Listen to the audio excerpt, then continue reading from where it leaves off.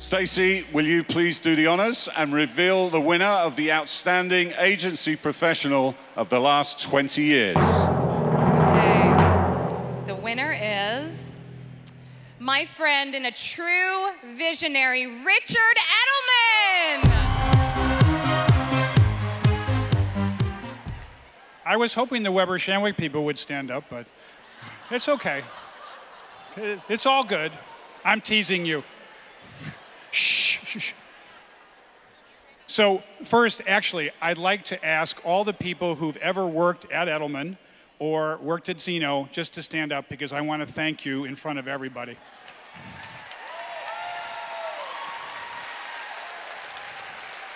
Thank you. And just remember, my father would say, you're all still account executives. So just keep that in your head. Even Carolyn, remember that.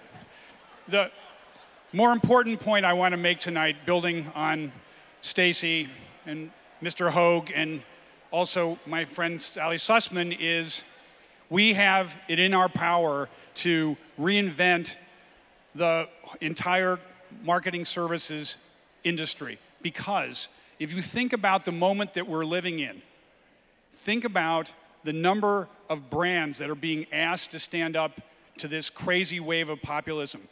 Think about the number of employees who are looking to their chief executives to be a source of truth because they can't get truth from media anymore. There's not enough media, and there's not enough media that people actually want to believe.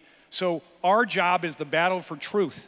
Our job is actually to stand up to that which is intolerable, to stand up to mistruth and falsehood and to inspire the people of the companies that we work for to actually believe in the material such that they can vote and act with confidence. We have a mission to take, and I ask every one of you to take this very seriously. Thank you very much for this award.